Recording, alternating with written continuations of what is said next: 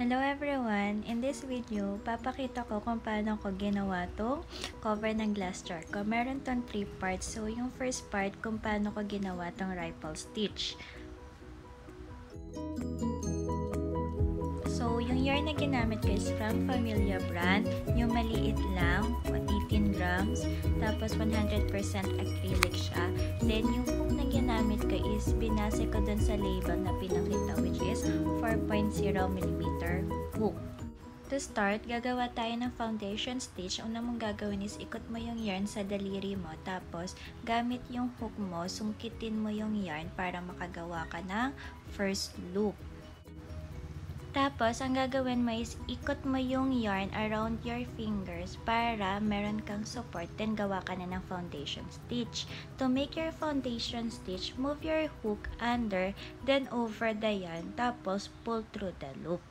Continuously mo lang gagawin yung pattern na under, then over, then pull through, pull through the loop till makabuo ka ng chain na multiple of 12.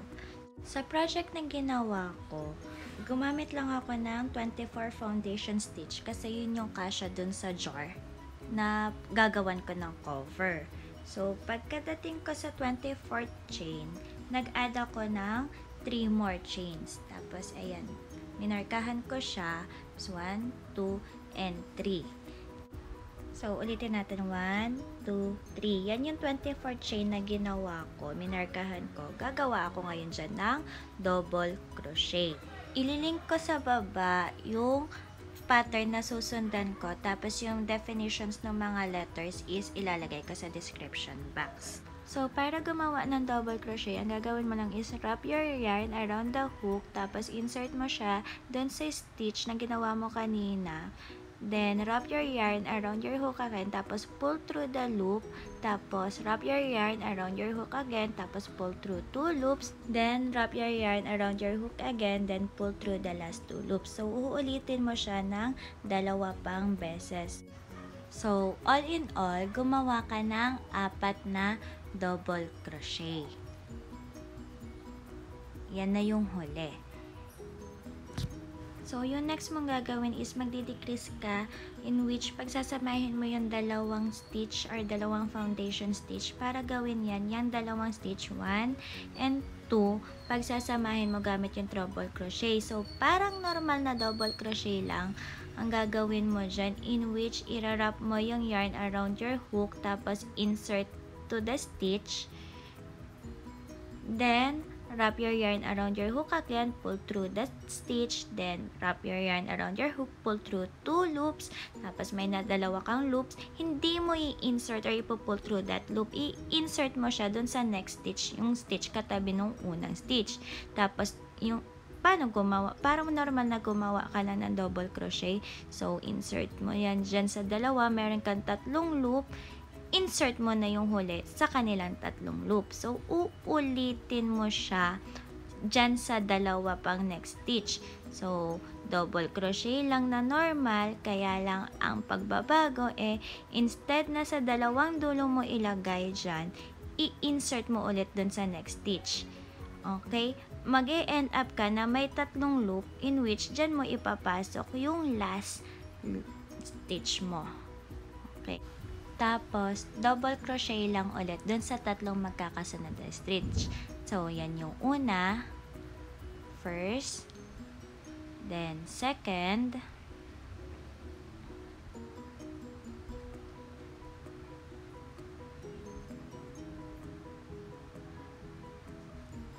tapos third.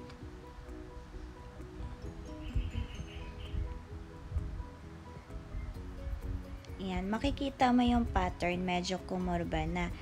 Sa next stitch mo, gagawa ka lang din ulit ng normal na double crochet.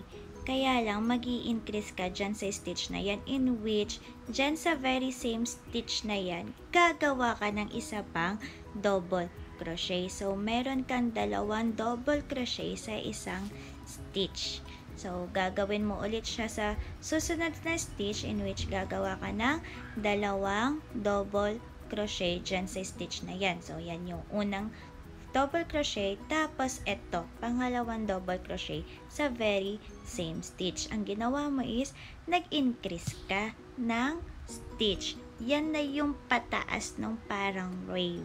So, after nung increase, double crochet lang din dun sa tatlong magkakasunod na stitch. So, tig-iisa silang double crochet. Yan na yung pangalawa, yan na yung last, yung third. Okay.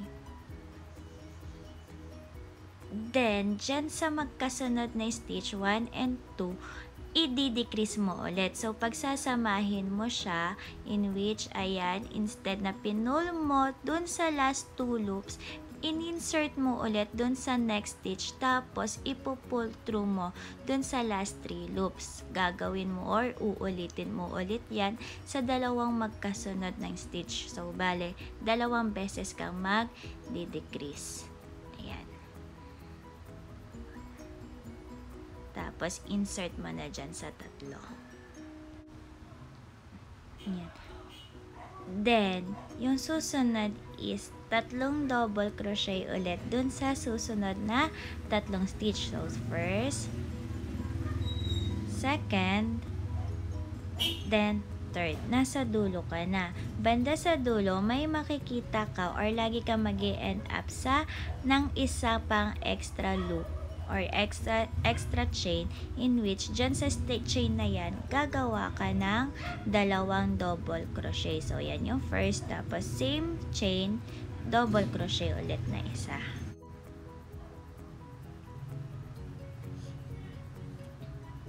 Okay. So ang next mong gagawin is ulitin mo yung over and under then pull through the loop 3 times. Gagawa ka ulit ng foundation chain dyan. Tapos tignan mo yung pattern kumukurba na. Then turn your work around. Tapos, uulitin mo ulit yung ginawa mo kanina. So, ayan yung first stitch. Double crochet ka dyan sa stitch na yan.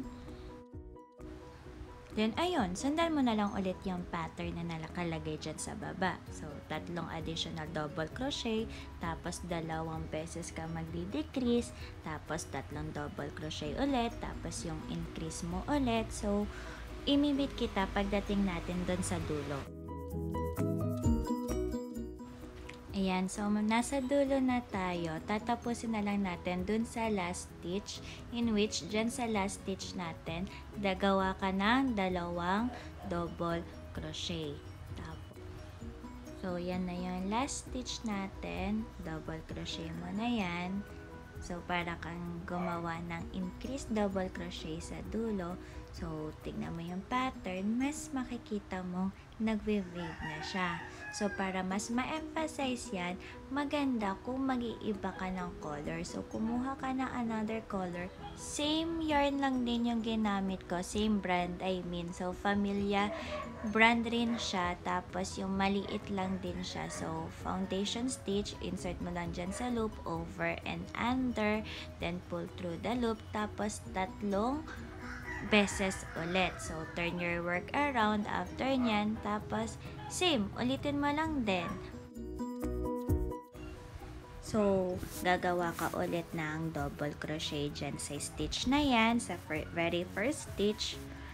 Okay, yarn over, pull through that loop, yarn over, pull through two loops, yarn over, pull through the last two loops. Then, double crochet dyan sa tatlong stitch na yan. First, second, then yung last, third. So, kung mapapansin mo, yung pattern, pare-parehas na lang din na makikita mo dyan sa baba. So, dun sa next two loops mo or two stitches mo, i-decrease mo yan. Pagsasamahin mo yan, same dyan sa dalawa. Tapos, yung next is tatlong double crochet. So, ulitin mo yan hanggang sa makarating ka sa dulo, mimit kita dyan. So, and dito na tayo sa dulo, gagawin ko na lang yung double crochet, yung tigi-isa nilang double crochet. Tapos, i-review na natin kung ano yung mga stitches na ginawa mo dyan. Always remember, dalawang double crochet sa isang stitch dun sa dulo. Okay? So, ito, ito yung mga stitches na ginawa natin.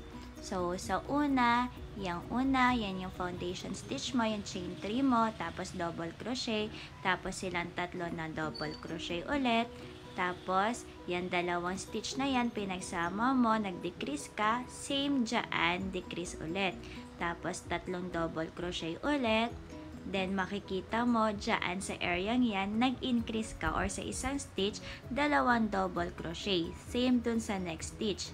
Tapos, tatlong double crochet ulit na magkakahiwalay, then decrease ulit, silang dalawa pinagsama mo, katulad rin nung sa susunod, may dalawa kang pinagsama or nag-decrease ka.